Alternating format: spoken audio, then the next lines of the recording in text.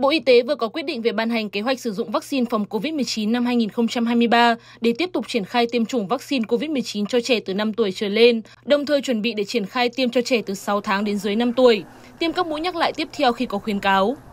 Kế hoạch này giúp các địa phương tự xác định nhu cầu vaccine, xây dựng và triển khai kế hoạch tiêm chủng vaccine phòng COVID-19 trên địa bàn phù hợp với tình hình.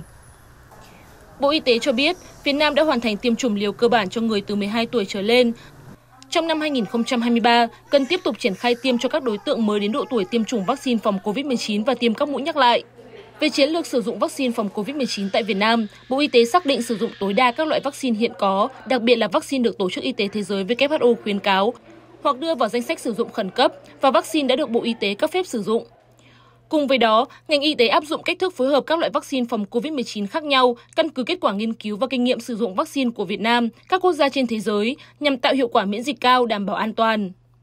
Bộ Y tế thực hiện tiêm chủng vaccine phòng COVID-19 cho các đối tượng theo khuyến cáo của WHO, sử dụng vaccine theo nhu cầu đề xuất của địa phương, nhu cầu của người dân và lượng vaccine được cung ứng theo hướng dẫn của Bộ Y tế.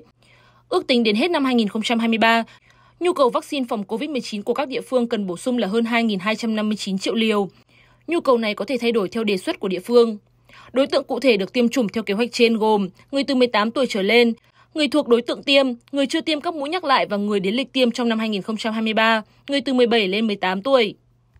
Người từ 12 đến dưới 18 tuổi, người chưa tiêm đủ 3 mũi, người đến lịch tiêm trong năm 2023, người từ 11 lên 12 tuổi, người từ 5 đến dưới 12 tuổi có nhu cầu tiêm mũi cơ bản, trẻ dưới 5 tuổi và tiêm các mũi tiếp theo cho nhóm đối tượng từ 5 tuổi trở lên. Về nhóm đối tượng này, Bộ Y tế nêu rõ, việc triển khai tiêm chủng vaccine phòng COVID-19 liều cơ bản cho trẻ dưới 5 tuổi và tiêm các mũi tiếp theo cho nhóm đối tượng từ 5 tuổi trở lên sẽ được Bộ Y tế khuyến cáo, hướng dẫn cụ thể khi có đủ căn cứ, cơ sở khoa học và phù hợp với tình hình dịch bệnh.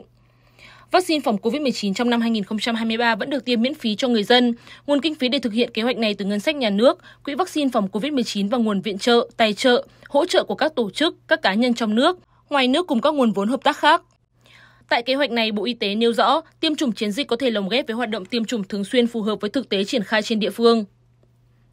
Căn cứ khuyến cáo của WHO và các tổ chức quốc tế khác cũng như kinh nghiệm triển khai tiêm chủng vaccine phòng COVID-19 tại các quốc gia, ngày 11 tháng 11 năm 2022, Hội đồng tư vấn sử dụng vaccine của Bộ Y tế đã họp đưa ra khuyến cáo. Tại thời điểm hiện nay, chưa triển khai tiêm vaccine phòng COVID-19 cho trẻ dưới 5 tuổi, mà cần tập trung nguồn lực vào hoạt động nâng cao tỷ lệ tiêm chủng vaccine phòng COVID-19 cho các nhóm đối tượng đã có hướng dẫn như mũi 3 cho người từ 12 tuổi trở lên, mũi cơ bản cho trẻ từ 5 đến dưới 12 tuổi. Chưa khuyến cáo tiêm liều nhắc lại lần thứ 3 mũi năm vaccine phòng COVID-19 và nhắc lại hàng năm. Tiếp đến ngày 17 tháng 4 năm 2023, Hội đồng tư vấn sử dụng vaccine của Bộ Y tế đã họp và đưa ra khuyến cáo. Việc sử dụng vaccine theo khuyến cáo của WHO ngày 30 tháng 3 năm 2023 là cần thiết, cần tiếp tục theo dõi, tổng hợp thông tin về tình hình triển khai trên thế giới và việc triển khai tiêm chủng tại Việt Nam để có cơ sở xem xét đưa ra khuyến cáo về việc sử dụng vaccine trong thời gian tới tại Việt Nam. Theo Phó Giáo sư Tiến sĩ Trần Đắc Phu, Nguyên Cục trưởng Cục Y tế Dự phòng, Cố vấn cấp cao Trung tâm đáp ứng khẩn cấp sự kiện y tế công cộng tại Việt Nam, hiện nay tình hình dịch COVID-19 tại nước ta vẫn được kiểm soát, đa số ca mắc mới có triệu chứng nhẹ hoặc không triệu chứng, không gây quá tải hệ thống y tế. Với các trường hợp nặng và tử vong, phần lớn vẫn là người có bệnh nền, người già, người chưa tiêm chủng, người suy giảm miễn dịch. Những trường hợp này bệnh có thể diễn biến nặng nếu nhiễm các virus gây bệnh truyền nhiễm khác như cúm, chứ không riêng gì với COVID-19. Khi những đối tượng trên nhiễm các bệnh do virus miễn dịch giảm, dễ mắc thêm các bệnh khác dẫn đến trở nặng và tử vong. Do đó, người suy giảm miễn dịch, người có bệnh lý nền, bệnh lý mãn tính cần thực hiện tiêm chủng đầy đủ theo lịch và hướng dẫn của Bộ Y tế.